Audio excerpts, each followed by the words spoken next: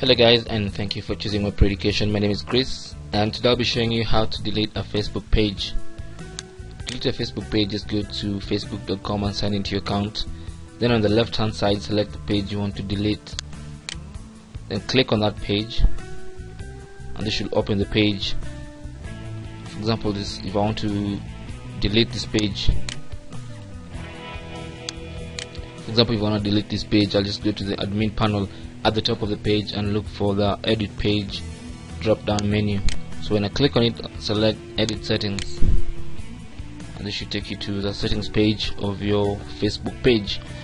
Now at the very bottom of that page there will be the option remove page which you click on edit.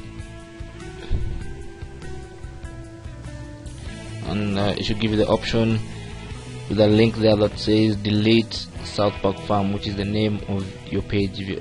So it's going to ask you to delete your page. So you click on this link and then confirm that you want to delete the page.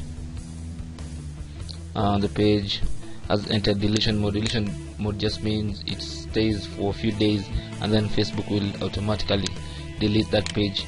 So right now when you go to you cannot you can actually cancel the deletion from right here and this will be here for a few hours in case you want to in case you change your mind and you want to reactivate that Facebook page you can use that link.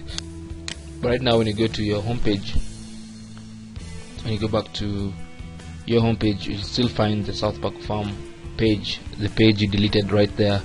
But then after a few hours it's going to disappear if you don't reactivate or restore your page that's how you can delete a Facebook page. Thanks so much for watching. You can ask any question you have in the comments.